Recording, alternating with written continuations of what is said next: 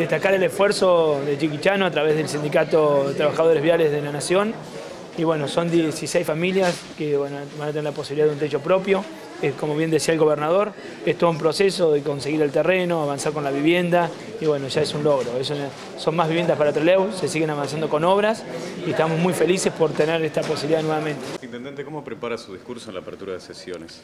Bueno, va a ser un resumen de todo lo que se hizo durante el año 2016, una proyección 2017, lo que va a ser el plan de obras públicas, lo que queremos para educación, para cultura, para deportes, desde el punto de vista también del medio ambiente va a tener un enfoque muy particular, la relación con los sindicatos, con los empresarios, con la Cámara de Industria y Comercio, con el parque industrial, con todo lo que está vinculado a la ciudad de Trelew, con el turismo mismo, y va a ser un discurso bastante amplio y también vamos a hacer una proyección, de, en este caso a través de un video, de lo que se hizo, de lo que se está haciendo y de lo que se va a hacer. Intendente, ¿cuál es la duda que mantienen los contribuyentes con el municipio de Trelew?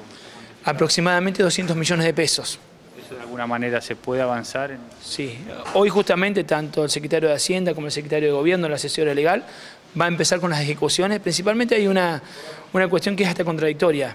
Quienes tienen poder, mayor poder adquisitivo, esto sin apuntar a ningún barrio en particular, quienes tienen mayor poder adquisitivo o autos de alta gama, por ejemplo, son los que más deuda tienen con la municipalidad. Entonces ahí es donde vamos a apuntar.